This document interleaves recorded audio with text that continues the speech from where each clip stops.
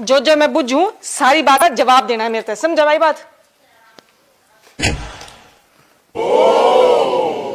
रितु यो के ताम जाम कर रखा तने आज?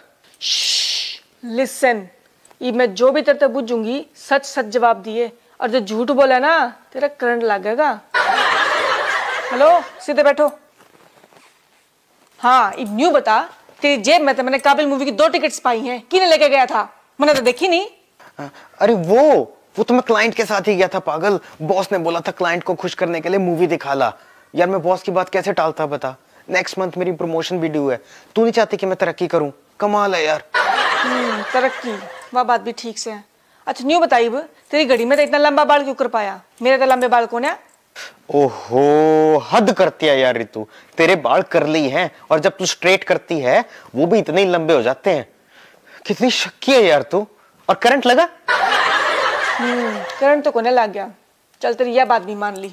पर न्यू बता तेरी व्हाइट शर्ट पर लिपस्टिक का निशान क्यों कर पाया? बता मैंने क्या जवाब है इसका? Oh, no. वो वो तो वो वो तो तेरी ऑफ़िस की पार्टी थी उस दिन जब तेरी कुलीग चढ़ चढ़ के डांस कर रही थी स्पेशली वो हिना एक्चुअली कंप्लेन तो मेरे को तेरे से करनी चाहिए या तू ही मेरे ऊपर चढ़ी जा रही है? वेरी गुड हीना हीना तो है ही ऐसी। वो लड़की ठीक नहीं है विकास उसे दूर ही रख रो आप।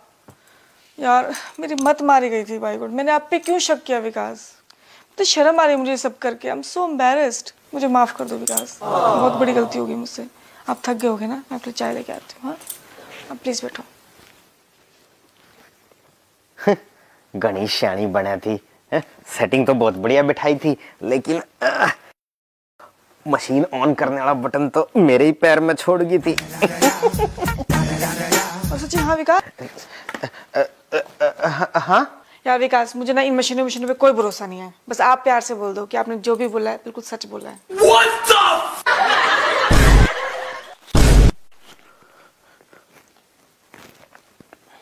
अरे मुंडी क्या हिला रहे हो? बोलो।